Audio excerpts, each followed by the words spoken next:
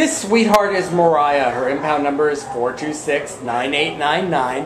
And Mariah is a two year old female long haired chihuahua, maybe a bit papillon, who came into the Baldwin Park shelter as a stray from the City of Industry on April 28th. She weighs approximately six pounds.